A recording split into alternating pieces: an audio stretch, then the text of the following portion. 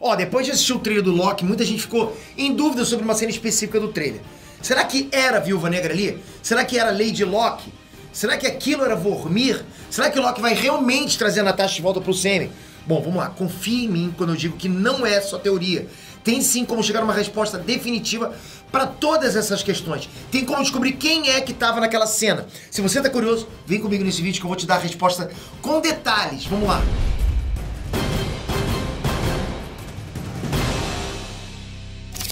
Na Nerd Ocupo, você já conhece? Ela é uma empresa que comercializa produtos irados de forma recorrente. Você escolhe sua assinatura mensal, trimestral, semestral ou anual e vai receber produtos maneiríssimos do mundo net, igual eu recebo aqui. Sabe aquela sensação de você abrir uma caixa surpresa para saber o que, que tem dentro? Uh, eu faço isso todo mês. Se liga, o valor por caixa é a partir de R$ 89,99 mais frete e o anual dá mais de 240 reais de desconto comparado ao plano mensal. Sempre vem com uma camiseta e mais 4 a 6 itens que vale mais de 150 reais em produtos.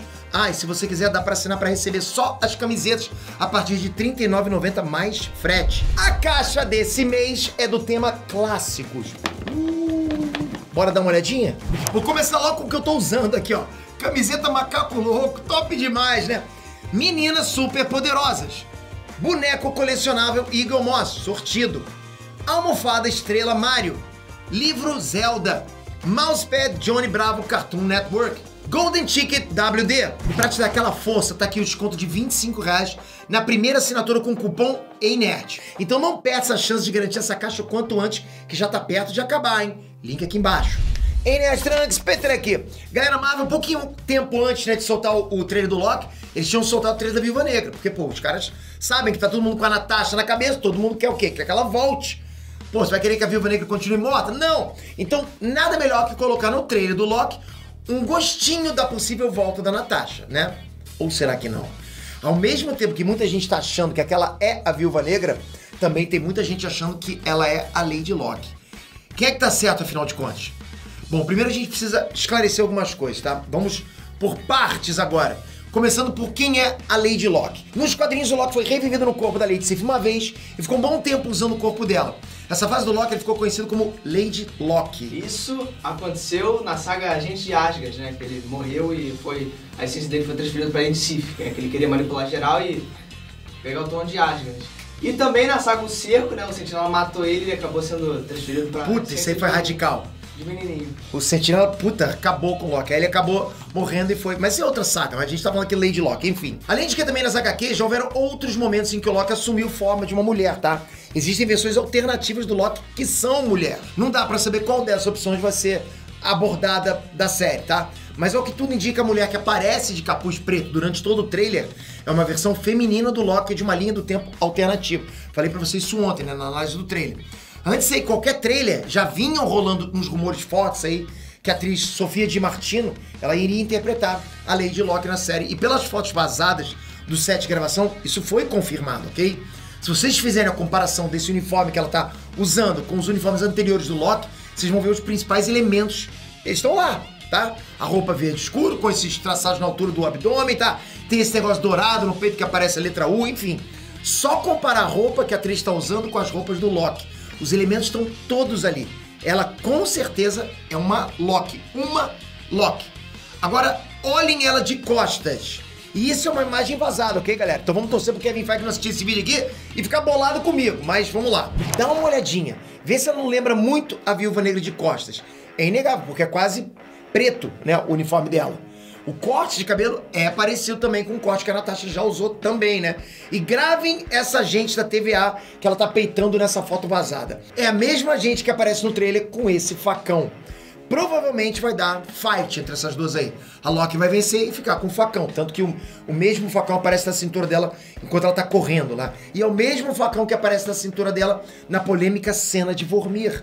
Eu não falo só pelo facão. Dá pra ver que o cinto do uniforme dela é o mesmo dessa mulher misteriosa. A bota é a mesma. Vários detalhes do uniforme vazado da Loki, da Lady Loki, né? Você consegue ver nessa cena também. E galera, tá meio que na cara que não é Vormir também. Vormir é um lugar preservado, uma mistura de templo antigo místico com natureza, um mundo inabitado, né? um paraíso. Já nesse lugar do trailer, do Loki, eles estão literalmente sentados na frente de um valão. Galera, o que, que é isso? Dá pra ver o tubo da saída da água pro valão ali. Vários pedregulhos em volta, lugar feio, porra, que só desgraça. Como é que alguém acha que esse lugar é Vormir? Pô, não, não dá. E digo mais, pelas luzes, né, e clima do ambiente, eu sinto que esse lugar é o mesmo que apareceu mais cedo no trailer com a lua despedaçada.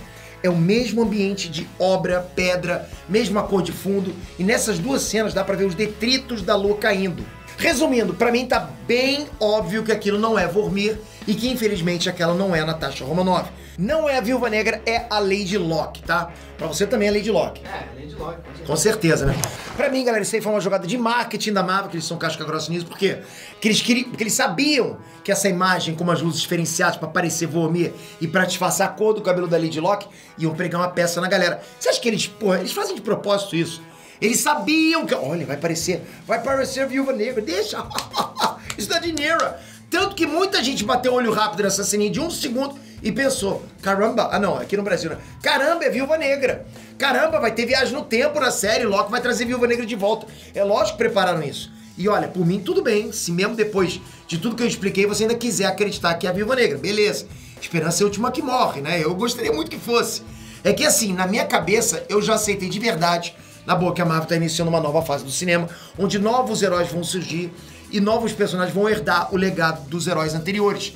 É o caso da própria Viúva Negra. O filme dela vai servir para estabelecer a Helena Belova como a nova Viúva Negra dentro do CM, assumindo o manto da irmã mais velha. Então, sim, galera, o, tempo da Scarlett Johansson na Marvel já passou. É duro de aceitar, mas é verdade. Acontece que a gente quer sim que fique Robert Downey Jr., Chris Evans, fazer o quê? Os caras querem partir para outro, meu. Eu tô com o bolso cheio. Né? Eles não querem ficar marcados por um personagem, isso é coisa dos próprios atores. Eu acho até que se deixasse, né, o Kevin Feige querer que, pô, ficasse Robert Downey Jr. pra sempre. Então é, não tem jeito, sacou? Tem que girar, tem que trocar o turno do, dos atores ali. Fora que essa passagem de manto, de, de digo de, né, de manto de super-herói, também é muito comum nas HQs. Então eles estão passando esse universo para dentro também do cinema, lógico, eles querem que aconteça isso. Só que a diferença é que nos quadrinhos tem passagem do manto, tem retorno do manto, né? Eu não consigo imaginar ainda um retorno de manto no semi, talvez um reboot mais para frente, não sei. Eu sei que isso está acontecendo e está acontecendo basicamente com os mesmos personagens. Sam Wilson, a Helena Belova, então, isso vai acontecer, vai acontecer com outros personagens. Então é uma coisa natural. Lembrando sempre, quando você mata uma personagem, ok? E traz ela de volta, você simplesmente não dá valor à própria morte da personagem, porque você tá acostumando a galera que, opa, morreu, pode voltar. Então, assim, a próxima morte de personagem, tá? É para causar dor. É para você sair com lágrima nos olhos. É isso que eles fazem. Porque senão, ah, morreu. Igual quadrinho. Quadrinho, quando morre, a gente fica meio assim, né? Pô, vai voltar. Mas no cinema eles não estão querendo fazer isso ainda. O que eu posso falar para vocês é o seguinte: para vocês estão loucos para que aquela ali seja viúva negra, eu não acho que seja, mas você pode achar que é. Mas nada impede que ele realmente viaje no tempo e tem uma participação né, da Natasha Romanoff ali, como, na, na, versão dela mais antiga, né? Que ele tá viajando no tempo. Ele pode visualizar, ele pode ver qualquer ator, tipo, qualquer personagem que já participou do semi, das fases do semi que já saíram.